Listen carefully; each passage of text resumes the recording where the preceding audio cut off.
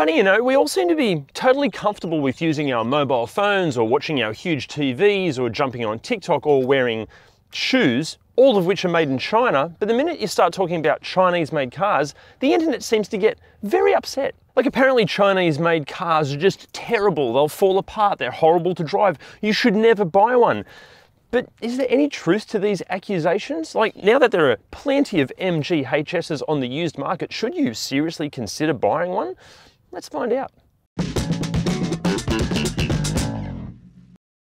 Now guys, this has come as a bit of a shock to me, honestly, but after talking to some of my non-car friends, there's a chance that you're thinking, hang on, what does an MG have to do with Chinese made cars? Because MG are English, aren't they?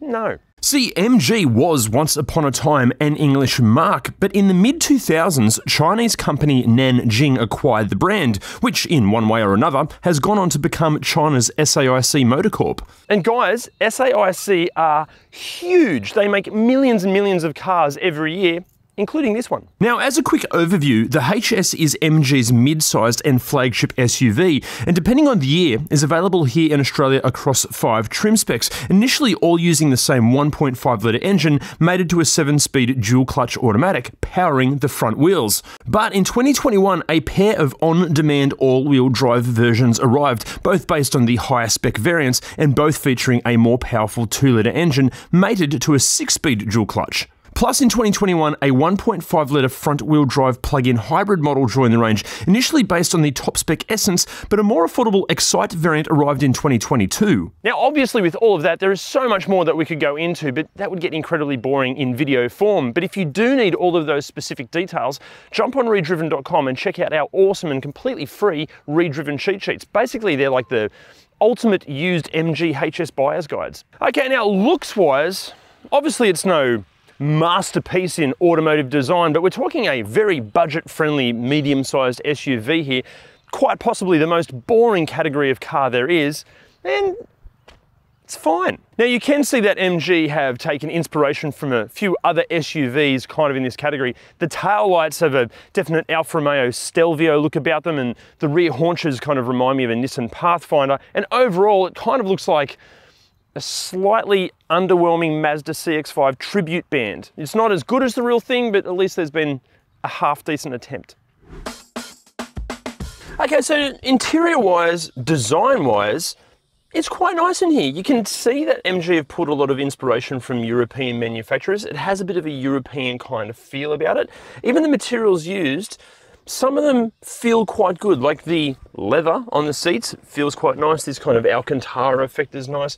Everything has, like, everything you touch has a good level of squidge and feel to it.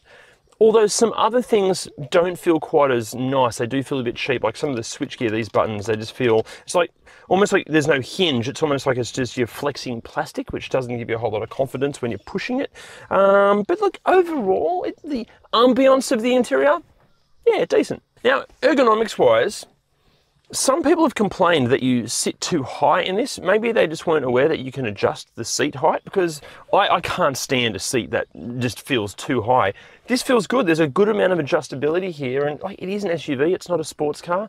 Feels fine. Now, even though these buttons do feel a little bit cheap and nasty, the indicator stalks and the windscreen wiper stalks feel, this is going to sound a bit wanky, but they, they feel European. They've got that kind of almost Mercedes kind of feel to them. They don't feel cheap and nasty at all. Now, as far as wear and tear goes, look, this is this owner's everyday driver. There are dogs in here, there are grandkids in here. It gets a hell of a workout. And wear and tear isn't too bad. Like the steering wheel is starting to lose a bit of texture around here. Some of the stitching's kind of coming loose on the red stitching there. The shift selector, the MG logo is starting to disappear a little bit. Again, with manufacturers with these like black plastic bits and painted sections, these are sort of scratching up pretty easily already. One thing as well, this is like a design issue. We found that it like, there's a lot of nooks and crannies and they love attracting like dust and crumbs and life, so it, can be a bit of a challenge to clean.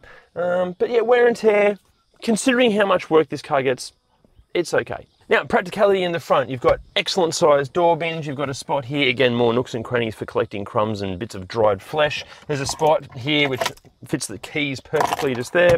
Spot here for your phone and cables. The only thing is, depending on what phone you've got, once you kind of put chargers and stuff in there, there's not a lot of room left to close that for your phone. Little slidey trapdoor here for uh, cup holders and another spot perfectly sized for your phone just there. Got more storage in here, pretty decent sized glove box spot for your sunglasses here or a pen and something else that just fell out. I'm not sure. Sorry, Bob.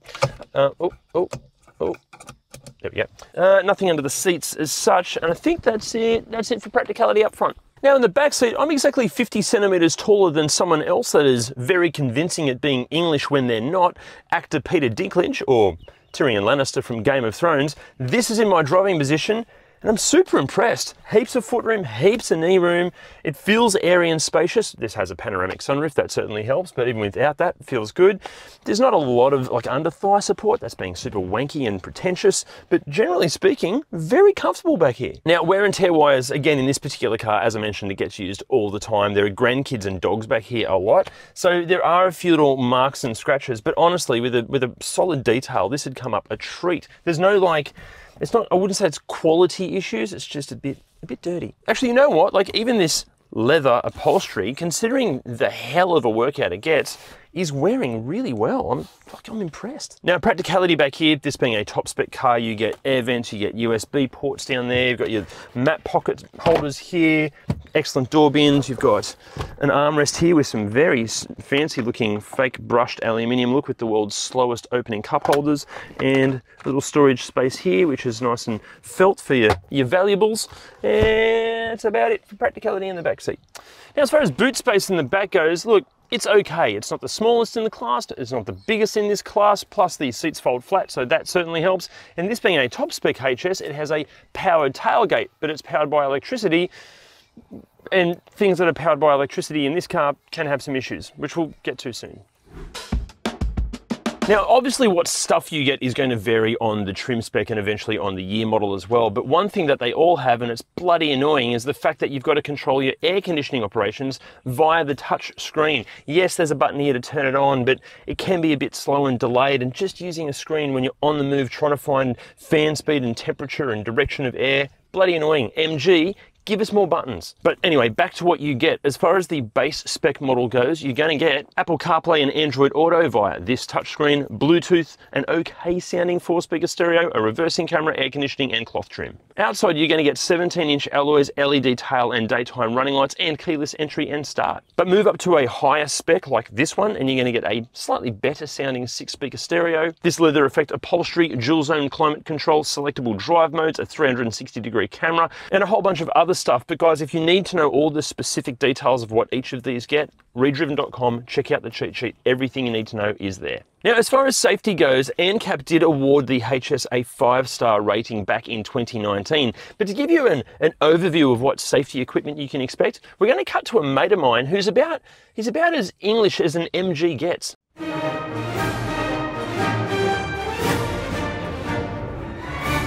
HS 包括六个安全气囊。ABS、自适应巡航控制、盲点监测、弯道制动控制系统、上坡辅助系统、前方碰撞警示系统、碰撞和行人回避控制系统以及后方交通警示系统。And again, guys, for the full breakdown of all the specifics when it comes to tech, equipment, and safety, jump on redriven.com, check out that cheat sheet. Now we've said this before, but one of the more challenging aspects of making these videos is that when the car is a bit, let's be honest, boring, making certain elements of the video engaging. So to hopefully solve that, let's answer a few questions when it comes to driving these. Okay, so is it gutless? Well, no, it doesn't feel gutless. Like this is the 1.5 litre turbo front wheel drive platform. It's no performance car, obviously. It's not supposed to be a performance car, but yeah, it feels feels fine. Like it keeps up with traffic on the freeway, no problem. Pulling into traffic or changing lanes is no drama at all. Again, it feels fine. But apparently the transmission is crap to use. Well, they were, and there are plenty of owners that still complain about, you know, how slow they are to use and a bit clunky here and there. But there have been software updates that have apparently fixed them. In this particular car, it's fine. Like it does all the dual clutch kind of stuff. It's a little bit slow on the uptake, but it's not it's not bad. The trick is driving it smoothly. If you just you know plant your foot and expect you know power to come on instantly, that's not how dual clutches work. If you drive like a normal person and just be smooth with those inputs, it's fine but I bet the ride and handling are just terrible. Actually, no. Look, it's not class leading by any means, but for who this car's targeted at, again, it just feels fine. It is a little floaty and kind of pitches and rolls just a little bit, but like the roads that this car's driven on all the time, like these ones, this bit's good, but normally these are terrible roads, it soaks up even like the worst conditions pretty bloody well. Yeah, but it doesn't feel good overall, does it? Look, it's certainly not, it's not overly impressive, but it certainly is not bad at all, even sounds wise. Like, okay, it's a bit of road noise, but it's not terrible. I was expecting there to be heaps of rattles and squeaks and noises, but there's not. It feels and sounds really, really tight.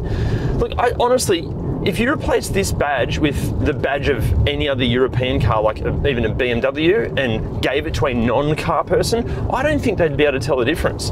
Like we, I think we expect far too much from this particular category of car. It's not a performance car. It's not a luxury car. It's just a medium-sized SUV, and what this is supposed to do, it still does after all these years and thousands of kilometers. It's fine. Look, as I mentioned, this is this owner's everyday driver. It gets driven on some bloody horrible roads here in the Hunter Valley. And I'll be honest, I was expecting I was expecting it was going to feel pretty rough and honestly crap. And it doesn't. It's not impressive, but it just does the job so, so bloody well. In saying that, there are a few little issues we need to talk about, but we'll get to that in a second. Okay, pricing here in Australia kicks off in the low $20,000 realm, which may seem like excellent value for money, although we haven't got into what goes wrong with them yet. And pricing tops out here in Australia around the $50,000 mark, which does seem honestly a bit too expensive, especially considering that we haven't gotten into what goes wrong with them yet. Something like this, a 2020 Essence in pretty good condition with a bit over 40,000 Ks on the clock, you're going to be looking somewhere between $35,000 and $40,000. Now, MG claims fuel consumption figures from as low as 1.7 litres per 100 Ks for the hybrid models through to 9.5 litres per 100 Ks for the 2 litre all-wheel drive models. This being the front-wheel drive 1.5 litre turbo is claimed at 7.3 litres per 100 Ks, but this one's actually seeing 10.4. Now guys, before we get into what goes wrong with these, first of all, a massive shout out to Bob, our viewer, for lending us his HS. Bob, you're a bloody legend, mate. Thank you so much. Also to everyone in the MG and HS communities that have helped us with the research for this. Again, legends. Now the moment we've all been waiting for, what goes wrong with these? Let's start with the exterior. Now, first up, okay, this one isn't like a problem, more of an annoyance really, but the sensors for the automatic wipers can be really inaccurate. So for example, if it just starts sprinkling, sprinkling a little bit, the wipers can go off like crazy. There are a few reports that HS is fitted with a sunroof, just like this one. The sunroof can leak and kind of drips down over the sun visors. Now this one seems a bit more specific to 2022 models, but in really hot weather, the body control modules can freak out. Therefore, the windows don't go up and down and the mirrors don't fold in and out. And also there are just a few sporadic reports of some quality issues. We're talking about, you know, panel gaps not lining up real well and plastic clips breaking, things like that. Not common, but there are complaints out there. Also, some owners have had some issues with the key fob, basically the car not recognizing it and not unlocking. Sometimes it can be just a low battery on the, you know, on the fob or within the car, which is weird because the cars aren't really that old. Sometimes it can just be other interference. Both times, annoying. Now inside, unfortunately, it seems that the HS is developing something of a reputation for electronic gremlins. Some owners have stated that sometimes the car just doesn't start on the first go and needs a second chance. Some other owners have reported incorrect error messages regarding the DCT transmission. Generally speaking, if you turn the car off and back on again, it kind of resets it and it fixes it, but it shouldn't happen in the first place. Okay, another one which isn't, it's not a common problem, but it's just an annoyance, real, it's a first world problem. There's so many bings and bongs and chimes. Heaps of owners have complained about this. You can adjust all that sort of stuff, but yeah, like if you open the door and the keys inside the car, boom, boom, boom, just incessant, bloody annoying. Then there are some just build quality issues. There have been reports of owners like plugging their, you know, charger cable into a USB port and the USB port just falling into the center console somewhere not ideal. And even if the USB port itself doesn't fall into the abyss, apparently some owners have complained that Apple CarPlay and Android Auto just won't detect your phone in the first place. But then if you can connect your phone and it recognizes it, some of the operations can be really slow, you know, like push the screen, wait, then it operates. Other times the screen just turns off completely, which again requires you to turn the car off and back on again. Now guys, before we get into mechanically what can go wrong with these, if you haven't already, can you please hit those like, subscribe and bell buttons? It helps us grow, helps us make more of these videos for you. That would be bloody awesome. Thank you heaps. Okay, now mechanically, what goes wrong with the MGHS? I can't tell you because I'm not a qualified mechanic, but Jim is. The 1.5 litre petrol engine in these is from the General Motors SGE family and you'll find them powering a bunch of GM derived cars, Opels, Buicks and some Chev. A lot of their small cars use these engines. In terms of reliability, Look, early on, whilst under warranty, yeah, pretty good. Um, they do have some oil consumption issues right from the start though, and they can have some issues further on with localized hotspots causing overheating, and they also have a few problems with the turbos and timing chains too. The two litre, it's a similar story. It too is a GM derived power plant, and again, in a bunch of cars globally. Again, early on, pretty good, but over 150,000 Ks, we're seeing piston complications, we're seeing timing chain issues, and turbo failures across all variants. The hybrid version it uses the 1.5 litre and maybe with a bit of luck having a bit of an electric motor there to help it, it might last a bit longer. I guess time will tell. Historically, these GM engines and engines in this family are fitted to relatively inexpensive cars therefore quite often not very well cared for. The first few years out of warranty are likely to be totally fine, but it's highly likely that the MGs and the engines in them are going to follow in the footsteps of their predecessors. That is, very few of them are going to be around with more than 200,000 kilometres on them. And if they are and something serious goes wrong, it's highly likely that the cost of repair is going to be worth more than the value of the vehicle. Transmission wise, there are plenty of reports of slow shifting or harsh shifting or no shifting at all or no gear at all. Now, at the moment, they're all still under warranty, which is great, but that warranty is going to run out. And the transmission it too might be the problem that is the expensive repair that's worth more than the value of the car. Look they are comparatively cheap cars and very rarely in automotive history does a cheap car turn out to be a good long-term reliable investment now guys, this might all sound like a lot of doom and gloom, but as the graphic showed before, these do come with a seven year warranty. So you'd like to think that any problems you're gonna have, MG will ho hopefully fix it. And through our research, we've found that MG are working really hard to resolve any of these issues. Although MG can't perform miracles, and there are plenty of reports showing that some owners have been without their cars for weeks because of supply chain issues, meaning that a lot of MGs just can't get the spare parts that they require. This isn't an MG specific thing, this is happening across all brands, but just yeah, be aware of it. Okay, so after all of that, should you buy a used MG HS? It's a tough one. Yes, the HS offers a great amount of equipment and features, especially in terms of safety, for the price. And while it's certainly not a class leader in any particular field, it's also nowhere near as bad as some on the internet may lead you to believe. Although. See, the concern is its long term reliability, and that's something only time can tell. So, if you plan on only having a HS for, say, the next four or five years, yeah, sure, why not? Buy one. You'd like to think that any issues that the MG may have will be covered under warranty. And overall, for the majority of buyers out there, it's a decent enough car. It's not special, but it's fine. But if you're looking at keeping one of these for, say, longer than the next four or five years, we'd be very, very cautious. In fact, we'd probably be steering towards something more like an older Toyota or a Mazda or a Kia or a Hyundai or a Honda. Look, obviously we can't predict the future, but we have a, have a sneaking suspicion that MGs and Chinese cars in general are just gonna get better and better. So guys, a question for you, would you buy an MG HS or a Chinese car in general, or are you gonna wait, or yeah, what do you think? Let us know in the comments. See you next time. Claimed at 7.4 litres per one. Three. Three. three. Here we go. Does a cheap car turn out to be a good long-term something something? Common, but yeah, there, there are complaints like, oh, you bastard, it was so good until right at the end. Here we go.